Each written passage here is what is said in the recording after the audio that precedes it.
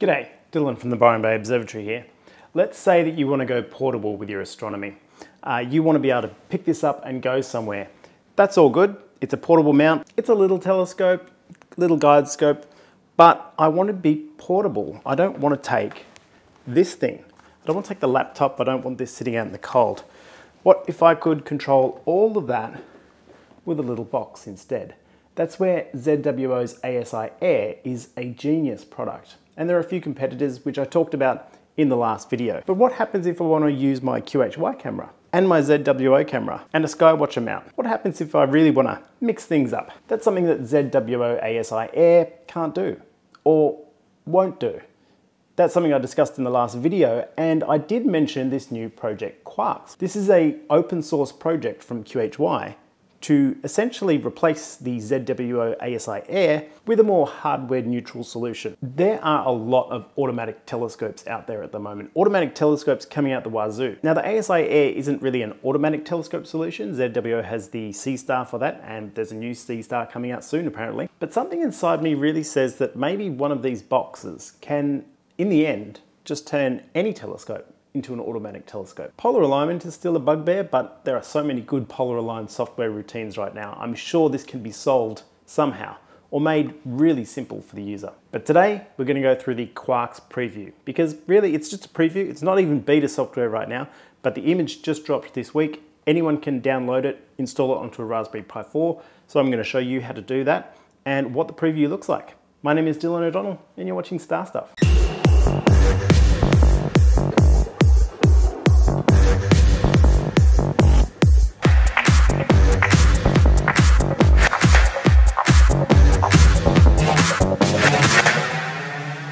This is a Raspberry Pi 4, super cheap.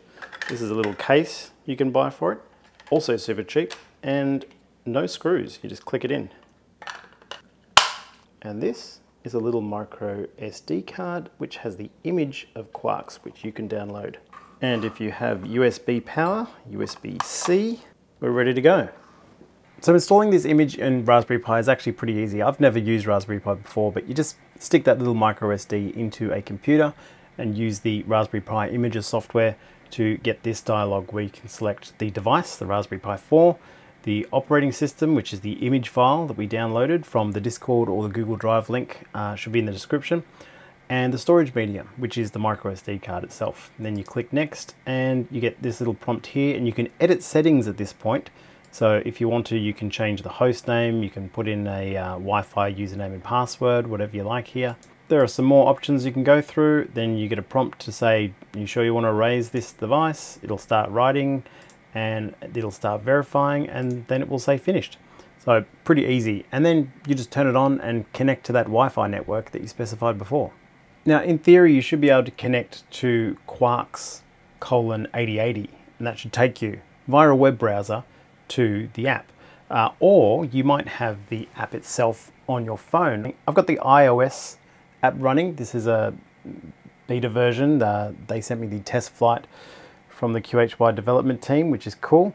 Uh, and I can confirm that it works just really the same as the browser. I did notice that the time is different between when I open up in the app and the app does a really good job of reconnecting to it. So even if you close the app or come back, it will just auto reconnect to the session, which is good. Uh, but the times were out between the app and the desktop, so that's a bug. But this is preview software, right? Not all of this works. In fact, a lot of it doesn't work right now. But the UI is really set up nicely. I'll show you what I mean. So if I go here to near Sydney, which is my um, approximate location, it's getting that data from the time zone that we put in before.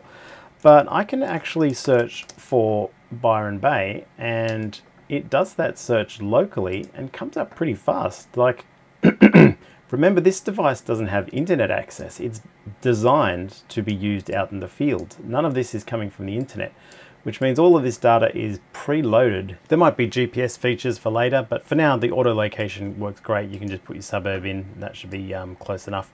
We have Stellarium Web running the actual uh, planetarium itself. The search is pretty cool. You can just search for um, anything really. Let's go Helix Nebula. We can do a go to, we can zoom in, we can zoom out. We have some status indicators up here. These icons in the top appear to show what is active and what isn't active. It's showing as guiding active here. I've got nothing connected right now and nothing is showing up for my device drivers or anything like that. Let's go through the views. I assume this is the imaging view here. Um, it, what I thought was a joystick appears to change the length of the exposure and there is this graph here which appears to be a HFR graph or a full width half maximum which means this is probably going to be running the focuser. I can see the focus in, focus out, I can see the move to a position, speed and steps and histogram. So I believe this will be a live view that will be running.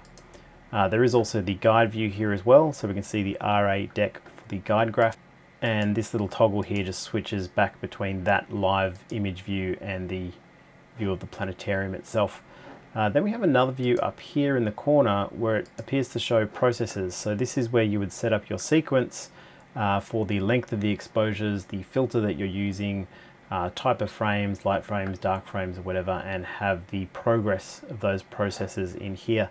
None of this seems to be live yet, but, uh, but the user interface looks quite usable.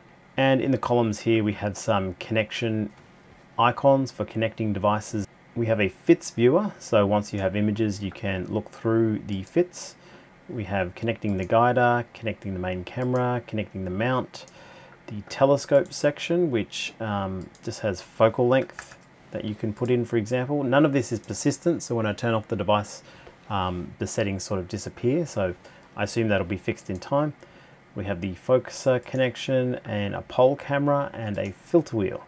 That's just the re refresh page icon and we have some data credits in here for Stellarium by the looks of it and I'm sure that will fill out as the project goes on. Of course Stellarium you're probably familiar with, you can turn the constellations on and off, change the atmosphere levels, the look and feel of it. It's all very pretty, it's all very quick. Uh, I must say it runs even quicker in the native app. But the app itself is super responsive and really usable, at least on my iPhone. As I showed you before, you can search for targets and you have a planet tonight view here, which shows a graph of the planet visibility. I would like those to be clickable so you can go to the planets, but of course you can just search for the planets as well in here and go that way. Now, this is just a preview version. It's not even beta. Uh, we're told by QHY that there could be three months until they have a beta version ready to roll. Um, they will need people to test different drivers and test different bits of equipment. So if you think this project is for you, um, I would definitely recommend grabbing a Raspberry Pi 4 or 5 maybe. The image will come out for 5 eventually. Very cheap and portable little solution if this works. A few of you have left me comments saying that um, this was a project that QHY had in the past and it seems to have been resurrected now. Certainly all the work that they've put into the user interface, it looks pretty polished, it looks pretty finished. Uh, so all they have to do now is connect this to all the functionality to make everything work and load in a bunch of drivers and you can download this yourself and run one up or you can wait for them to release the official Star Master version. But honestly, for someone who hasn't used Raspberry Pi before, this was super easy. Very, very, very easy to get up and running. So if you want to get a Raspberry Pi and run it up, I'll put the links in the description if you need to. That's it, very quick video. Just wanted to show you the preview. Fingers crossed, this project bears fruit. My name is Dylan O'Donnell and you've been watching Star Stuff. And remember, everything is meaningless. We're all going to die.